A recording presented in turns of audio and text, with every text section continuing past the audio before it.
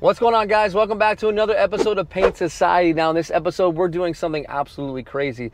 While the rest of YouTube is painting real Lamborghinis, we are gonna be painting a fake one. That's right, now I've seen pictures and I've seen videos and it seems insane. We're here at DC Auto Wholesale Group and we're gonna check out exactly what this kit car is all about. Let's go into the shop and let's take a closer look at what we got planned for today. And well, this is a shop, it's a nice size shop. Let's head and take a closer look. And here it is, a Lamborghini kit car getting prepped for paint. I gotta say, it looks pretty impressive for not being a Lamborghini. This is based off of some sort of Chevrolet chassis. I'm not sure exactly which one it is, but you can see they went through great lengths to make it look as close as possible. You can almost admire the craftsmanship behind it. You can see it's got the vents. I think it's some sort of possible fiberglass composite. I'm really unsure about that.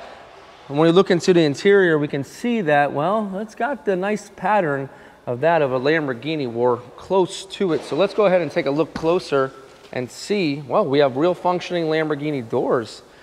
That's a plus. A little bit dirty, but well, you know, definitely looks closer to a Lamborghini than a Chevrolet at this point. So we're coming across to the front of the vehicle. And we can see that it's, you know, a little bit dusty at this point. We're just finishing it up, getting it ready for the final, final cleanup. And we have a helper here. Pedro's in the house. Thanks, Pedro. Man? You ready to get to work? We're ready. Let's do it. Oh, it even sounds like a Lamborghini. we got the guys working, cleaning it off. We're using some Sprayway glass cleaner. Make sure all the little bits of dust are off, and then we'll use some wax and grease remover.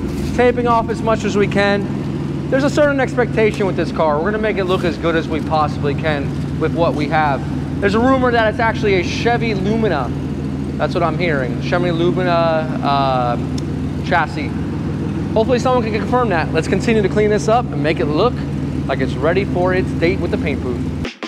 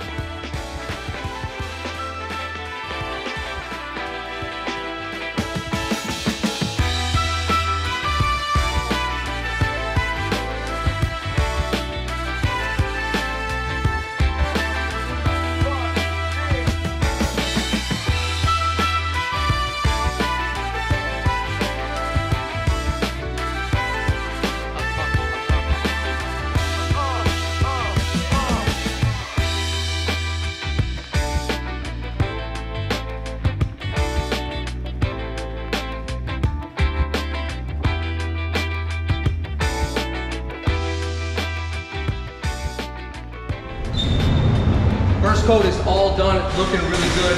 I'm gonna hand things over to Pedro. He's gonna lay down that second coat of base.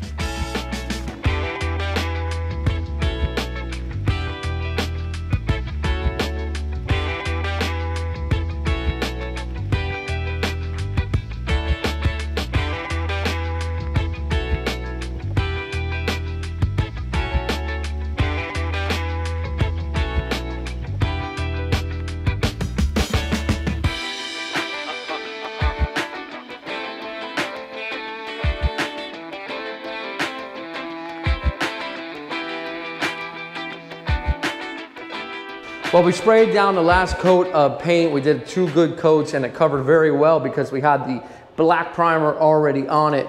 Now we allow this to dry a good 45 minutes. Let's get all those solvents out of there. We're ready to clear. I'll show you the clear and we'll start laying it down.